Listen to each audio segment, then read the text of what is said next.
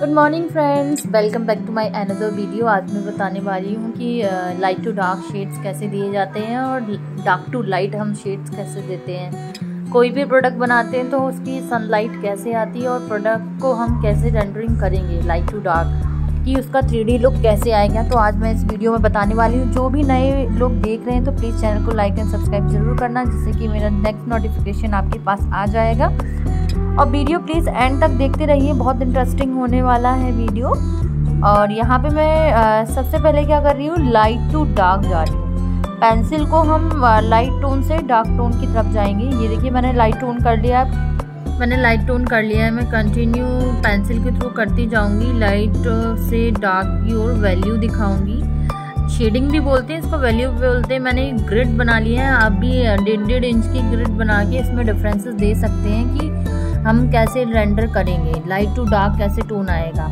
तो ये ग्रिड है एक, जिसमें मैंने सारे लाइट टू डार्क टोन्स दिखाए हुए हैं कि पेंसिल को हमें कैसे पेंसिल क्या हम, मैंने only two B pencil use की हुई है। इसमें क्या कर रही हूँ कि प्रेशर कम दे रही हूँ। लाइट टोन के लिए मैं प्रेशर कम दे रही हूँ और डार्क टोन के लिए प्रेशर ज़्यादा दूँगी तो वो कंटिन्यू डार्क होता जाएगा। तो इसी तरह आप प्रैक्टिस कर सकते हो।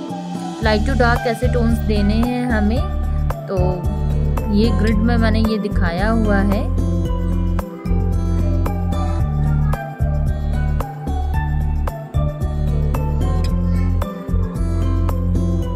सेम ऐसे ही कलर में भी होता है कि वैल्यू दिखानी होती है कि कहाँ पे डार्क टोन आ रहा है, कहाँ पे लाइट टोन आ रहा है। पेंसिल में भी यही होता है कि जब भी हम लाइक पोर्ट्रेट या फिर कोई भी प्रोडक्ट डिज़ाइन करते हैं स्टिल लाइफ करते हैं या फिर लैंडस्केप पेंटिंग करते हैं तो हमें वो शेड्स दिखाने होते हैं। तो वही चीज़ है। तो आप भी कंटिन्यू ऐसे प्रैक्टिस कर सकते हो। कंटिन्यू देखते रहिए वीडियो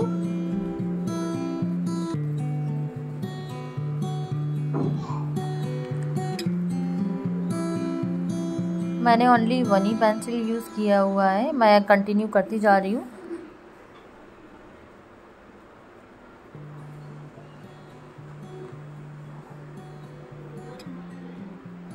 नेक्स्ट वीडियो मेरा बनेगा मैं फ्लावर्स बनाऊँगी उसमें शेडिंग करके बताऊँगी तो आप वीडियो ज़रूर देखना। फ़र्स्ट वीडियो में मैंने बताया था कि टेक्निक्स क्या क्या होती हैं और इस वीडियो में मैं बता रही हूँ बता रही हूँ आपको कि शेडिंग्स कैसे होती है। शेडिंग्स को हम वैल्यू भी बोलते हैं कि कहाँ कहाँ पर शेडिंग कैसे देनी है डार्क टू लाइट कैसे देते हैं लाइट टू डार्क कैसे देते हैं।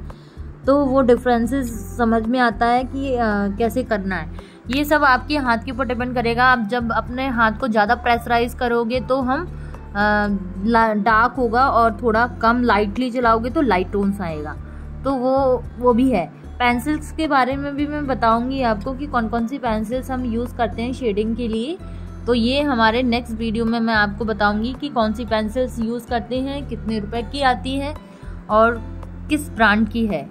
ईज़िली आपको स्टोर वगैरह में ऑनलाइन भी अवेलेबल रहती है। तो ये सारी इन्फॉर्मेशन मैं आपको नेक्स्ट वीडियो में दूँगी। और इस वीडियो को आप कंटिन्यू देखते रहिए। आगे भी बहुत अच्छा होने वाला है। जो भी नए लोग देख रहे हैं तो प्लीज़ चैनल को लाइक एंड सब्सक्राइब ज़रूर करना। कमेंट्स में ज़रूर बताना कि कैसा लगा आपको वीडियो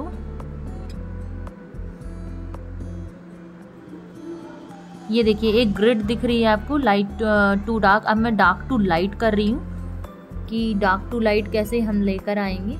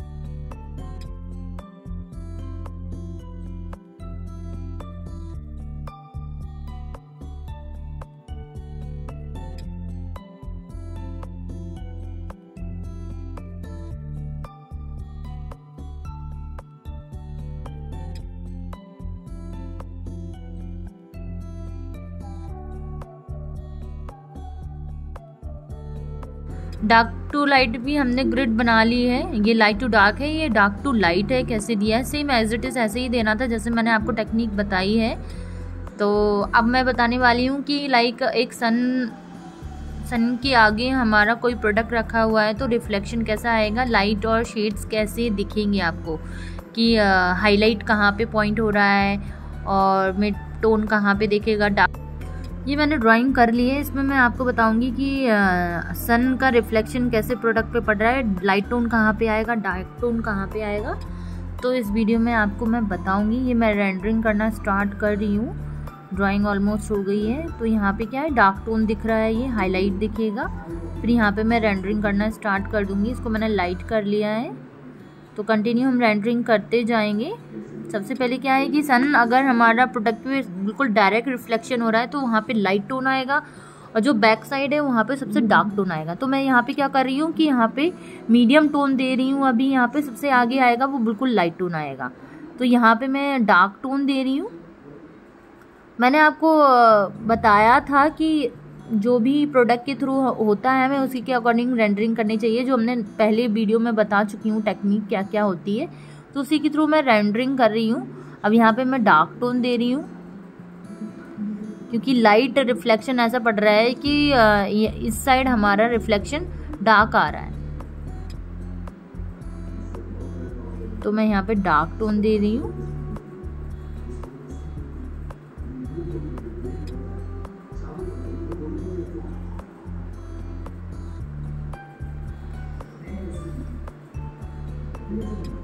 यहाँ पे कंटिन्यू डार्क टोन रहेगा, यहाँ मीडियम टोन रहेगा।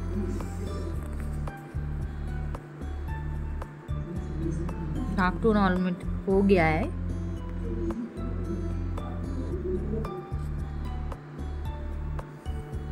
अब अलग ही समझ में आ रहा होगा आपको कि लाइट टोन कहाँ पे आ रहा है डार्क टोन कहाँ पे आ रहा है मीडियम टोन कहाँ पे। शेडो इस साइड आएगी क्योंकि सन इस साइड है तो इसका रिफ्लेक्शन पीछे आएगा तो शेडो बिल्कुल पीछे ही आएगी। तो मैंने शेडो दी है, पहले डार्क दी है, फिर देन थोड़ा थोड़ा लाइट होती जाती है shadow thank you for watching please channel को लाइक एंड सब्सक्राइब ज़रूर करना।